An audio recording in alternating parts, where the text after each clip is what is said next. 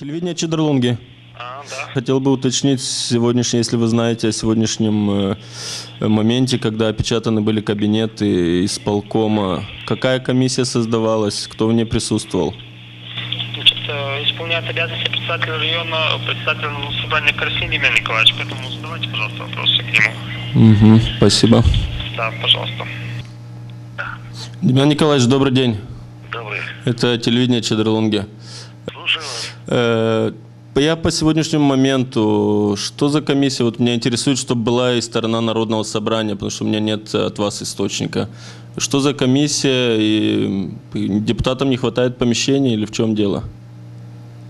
Дело в том, что э, комиссия было распоряжение, вернее, распоряжение председателя о том, Мгм. чтобы они освободили эти кабинеты. Но